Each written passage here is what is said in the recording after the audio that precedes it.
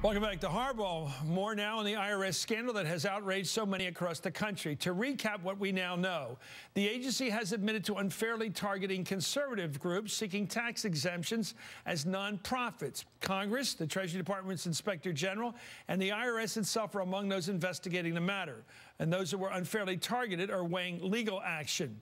An issue here is how the IRS looked for groups it thought might be violating the rules. It did so with an apparent political motive, essentially handpicking groups that had terms like Tea Party or Patriot in their applications. Of the 300 groups the IRS singled out for heightened review, about 25% of them featured those words in their paperwork, according to agency officials. In the end, none of them were found to have violated any rules. In fact, not a single one of them have had their applications turned down to this point, although some reviews are still ongoing.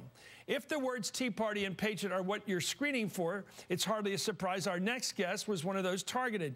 Joining me now is Jenny Beth Martin, the co-founder of the nonprofit Tea Party Patriots. Also with us is Joy Reid, MSNBC political analyst with thegrio.com. Thank you very much, Jenny Beth, for joining us. According to, well, let me just get your personal. How, how did you know you were targeted for review by the IRS as a Patriot group, as a Tea Party group?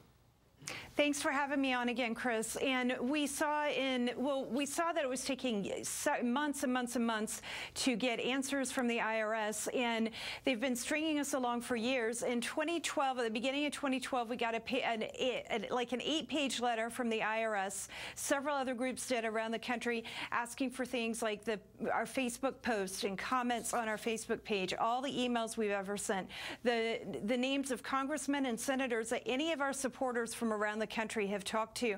A lot of the information that they were asking for was completely, completely, really none of their business and completely intrusive. Well, tell me about it from your point of view. Are you a political organization? Uh, we are a um, nonprofit organization designed to do grassroots lobbying. That means we do legislative action, and that's what a 501c4 is for. And then we also have applied for a 501c3 status so that we can educate on things like the Constitution and the right. Bill of Rights, which this IRS well, you, report, I mean, they're saying I'm they sorry. didn't even want us to do that. Do you take sides in elections? We have only stood up for our issues. We've never endorsed any candidates in the primary. In fact, the vast majority of the work that we do, the vast majority is related to the issues like Obamacare, the debt, the overspending. Well, I've been on your show talking about it. Uh, in opposing Obamacare, do you think that was a political move? It was about the legislation. It wasn't a. It wasn't about a political move. It was about what we thought was happening with the bill and the law moving through I Congress. I understand that. Once the bill was passed, did you stop attacking Obamacare? Since it was a policy question, it wasn't political. If you kept attacking Obamacare after it was the law of the land, then I'd question whether you were doing it as a campaign issue. No, it wasn't a campaign issue, and we were out there in front of the Supreme Court when it was being heard out in front of the Supreme Court. Again, that's what we're allowed to do as a 501c4, and it wasn't for campaign purposes. It's because that is what how you um, appeal laws if you want yeah. to in this country. But once the law was approved by, went through and it was uh, approved by, reviewed by the Supreme Court, did you continue to attack Obamacare on through the November election? We have focused on Obamacare, and of course, going into the elections last year, it was not as large of an issue as we would have liked it to but be. Why did you, if, if, you're not political, why did you keep hitting the issue going into an election? Because we're legislatively focused, Chris. It's legislation, and we're legislatively focused, and that's what we do. We weren't talking about candidates, and in fact, mm. when we talked about the law going into the election, we didn't even call it Obamacare. We said the president's health care law because our attorney said that if we used Obama Obama and the name Obama, that would cause problems I for our pending for our pending status. Joy Reid, thank you for joining us tonight. My concern, I've, I've voiced it loudly. This is catnip for the hard right. It says the government's the enemy. The government's out to get you. The helicopters are next. We're going to come get your guns, confiscate what you have, and perhaps take you away to a concentration camp. And it's not just paranoia if you have this kind of evidence. I think it is paranoia most of the time. But if this thing gets out to be fact, if it's clear they were going through returns like this young lady, this lady's uh, returns, her organization's returns, if they're going around systematically looking for the right wing, it could be the left wing next year. That's my view. I think the president was right. I think he should have been tougher. Well, Chris, uh, you know, I think there's a couple things here just to impact. First of all, um, obviously the people in that Cincinnati office, and we're not talking about people in Washington, we're talking about people in Cincinnati, Ohio. No, but so Cincinnati was tasked with this, nationally. Right, no, so they had the national. You can't. You can't pigeonhole it in Cincinnati. This was the national effort to go through the review of these organizations. This is where it was tasked. One place, Cincinnati. So you can't say it's a local operation somewhere. Go ahead. Right, but these were low-level staffers in Cincinnati. I think that the problem here is the attempt to immediately go from that to the White House and say, well, you know what, the White no, House was going after. No, not you. Well, what, well let me I'm ask you a question. Lois is, Lerner, head of the whole operation that looks at all these nonprofits, knew about this a year before.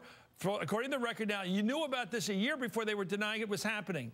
So why didn't she fire the people that did it? Why weren't steps taken to seriously discipline those who had done it? Why did she simply say, well, do it a little differently this time?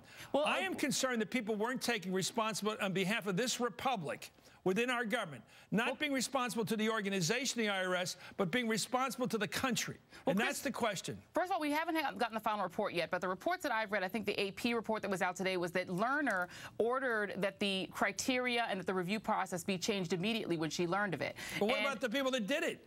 Well, that's the good. That's a decent question. But asking whether Barack Obama was using the IRS to go after his political enemies, which not you're doing, but which I'm starting to see on the right, is it doesn't make any well, sense. I'm not going to go after Shulman, straw dog. Doug I'm Shulman, concerned about the government. In this right, case, Joy, the president is head of this government. If there's screw ups, if it's down in Albuquerque at the lowest level of a government, if somebody there's speaking for Uncle Sam He's got to deal with it. Well, of course. And but Doug Shulman, who was the head of the IRS at the time, I think the idea that he was engaged in some sort of conspiracy to go after Tea Party groups on a political basis when he himself is a Republican and a George Bush appointee who had already told the president that he was resigning from the, one of only two appointed political positions in the IRS, yeah. that he was resigning in November. So the idea that there's okay. some conspiracy, Doug Shulman being the head of it doesn't make sense. Okay, let me, thing, back, let me go back to uh, Jenny Beth, your view, because I believe what I've been able to understand this is that the national effort to review these kinds of applications like yours. The national effort was tasked to the Cincinnati office, and they were handling all this across the country. This wasn't some little pigeonholed operation. This was the effort to do this fairly, and apparently they weren't doing it fairly. They were targeting the right. Your thoughts? They weren't doing it fairly. And is Lois Lerner a low-level employee? Because she knew about it last year. She knew about it in 2011. And then on Friday, she's saying it was only low-level employees involved. So is she a low-level employee or not? And, well, she was on the Federal listen, Election Commission. Well, I would say that's probably not a low-level job. And it doesn't, if it was a Bush appointee, an Obama appointee, I don't care who appointed them, whoever, the people who were responsible must be held accountable. This is not Republican, it's not Democrat, it's wrong to do, and it's about the people who are unelected, who have too much power, abusing the power that they well, have. We cannot have that. The one good news, Jenny Beth, the good news is the IG caught him. Their own inspector general but, caught him. Chris, can I and just say two quick things? Thanks to Landmark Legal for asking for that investigation to happen. Okay, actually okay. three Go. quick things. The idea that the quick Tea Party patriots and these other groups are nonpartisan, that they are social welfare organizations, is my other point. That the 501c4 process has attracted every low-level political consultant in the country to create a C4 when they saw the Tea Party coming. They weren't creating these groups to be nonpartisan and do policy. Everyone who's observed the Tea Party knows they were political. That's number one. And number two, I wonder if the same level of outrage existed back in 2004 when the IRS not went after and looked at applications, but audited the National Advance Association for the Advancement of Colored People, audited the NAACP, and launched a two-year investigation into them simply because the president of the NAACP, because one person made uh, comments that they thought were negative toward George W. Bush. I think it's great that we're going to look at the IRS process. Of course, it should be looked at. If people did wrongdoing and it was clearly stupid to, to target groups in this way, they didn't understand the law, then yeah, people should be disciplined. But let's just try to make sure that we're just as outraged when the IRS goes after the NAACP. And I don't remember this level of outrage in 2004 before that election. And did the IRS in 2004 say we're going after him because they of comments they made yes, toward the, the letter, president? Yep, the letter that then was sent to the NAACP it's said just that Julian Bond's statements, that Julian Bond's statements about George W. Bush and his opposition to the war, that was in the IRS letter that went to the NAACP. Okay. They disclosed that they were going after okay, him I think one thing, but thank you, Joy, and I think everybody understands what you said, and Jenny as well. I think people all at home are going to make a judgment about this. Two wrongs don't make a right. Both are wrong. Thank you very much, Jenny Beth. Uh, Martin, thank you for coming on. Please come on again. Joy, as always. Thank you. Thanks, I agree with you mostly. Up next.